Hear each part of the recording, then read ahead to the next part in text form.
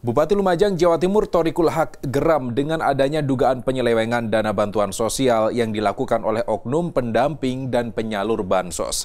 Pasalnya jumlah yang diambil mencapai ratusan juta rupiah. Bupati pun mendesak polisi mengusut tuntas kasus tersebut. Bupati Lumajang, Jawa Timur, Torikul Haq langsung mendatangi posko pengaduan penyelewengan bansos yang ada di Balai Desa Sawan Kulon, Kecamatan Kedung Jajang kedatangan bupati untuk memeriksa rekening koran dan rekap kerugian warga akibat penyelewengan tersebut.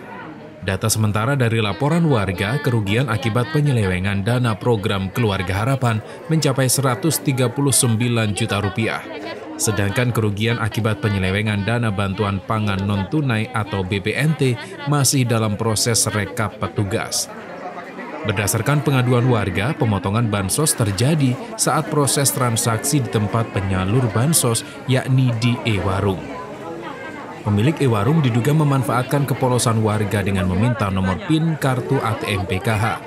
Dengan nomor PIN itulah pelaku memindahkan saldo penerima manfaat bansos ke rekening pribadinya.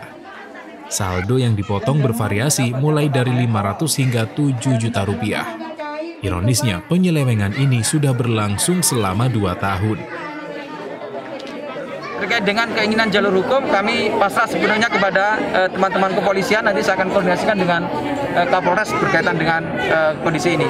Saya juga uh, tentu akan melaporkan kepada Ibu Menteri Sosial terkait dengan keadaan-keadaan ini dan saya minta kepada desa-desa lain untuk juga membuka laporan pengaduan Sementara itu pemilik e-warung saat didatangi bupati memberikan penjelasan yang berbelit-belit.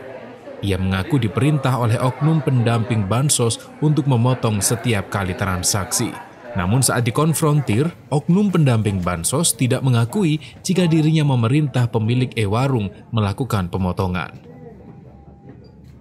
Abdul Rahman, Kompas TV, Lumajang, Jawa Timur.